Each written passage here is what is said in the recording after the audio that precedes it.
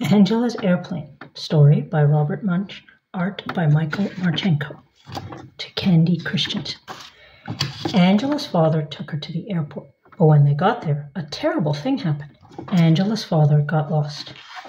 Angela looked under airplanes and on top of airplanes and beside airplanes, but she couldn't find him anyplace.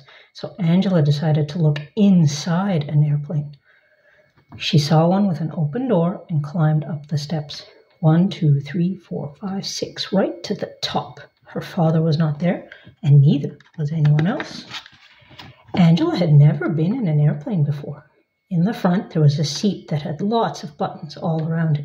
Angela loved to push buttons, so she walked up to the front, sat down in the seat, and said to herself, It's okay if I push just one button. Don't you think it's okay if I push just one button? Oh, yes, it's okay.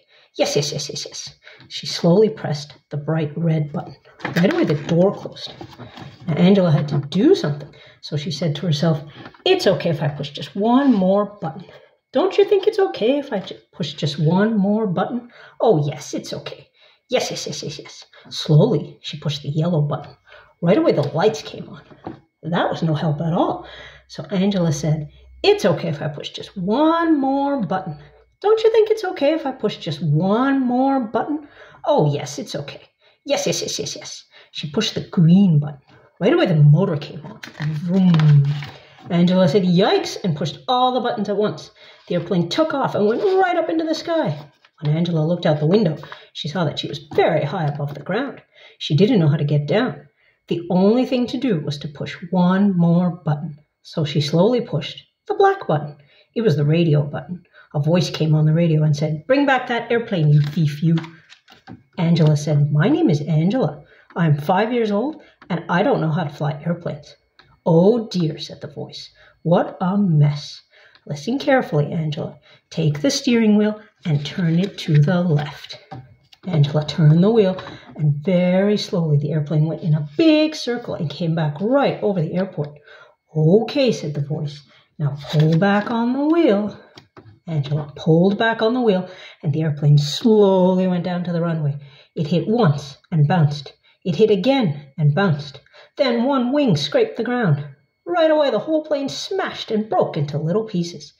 Angela was left sitting on the ground, and she didn't even have a scratch. All sorts of cars and trucks came speeding out of the terminal. There were police cars, ambulances, fire trucks, and buses, and all sorts of people came running. But in front of everybody was Angela's father. He picked her up and said, Angela, are you all right?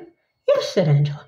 Oh, Angela, he said, the airplane is not all right. It is in very small pieces. I know, said Angela. It was a mistake.